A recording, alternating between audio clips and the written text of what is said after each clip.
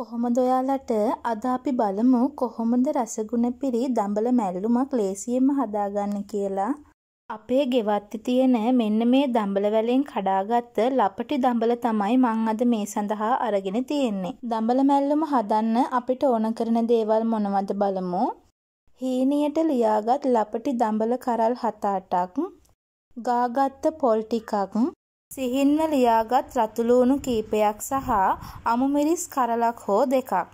කහ කුඩු ස්වල්පයක්, රසානුව ලුණු කුඩු ස්වල්පයක්, ඔලුව තෙල් ස්වල්පයක්. ඔයාලට මේ සඳහා පොල් තෙල් උනත් ගන්න පුළුවන්. අපි බලමු කොහොමද දඹල මැල්ලුම හදාගන්නේ කියලා. මං අද මැල්ලුම හදන්න ගන්නේ මෙන්න මේ වගේ මැටි තාච්චියක්. මං ඒකට මුලින්ම සිහින්ව ලියාගත් දඹල ටික එකතු කරගන්නවා.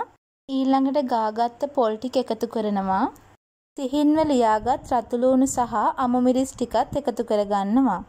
ඊළඟට කහකුඩු ස්වල්පයක් සහ රසානුව ලුණු කුඩු ස්වල්පයක් එකතු කරලා මං ඔලුව තෙල් ස්වල්පයක් මේකට එකතු කරගන්නවා. ඔයාලා කැමතිනම් මේකට උම්බලකඩ ටිකකුත් එකතු කරගන්න.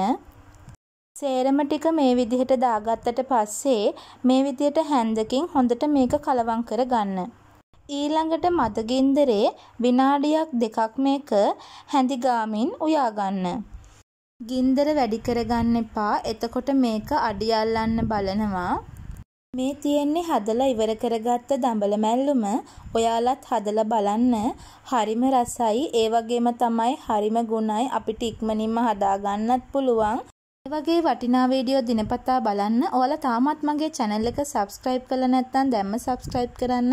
ඒ වගේම ළඟම තියෙන bell icon එක click කරන්න. එතකොට මම අලුතෙන් වීඩියෝ එකක් දාපු ගමන් ඔයාලට දැනගන්න පුළුවන්.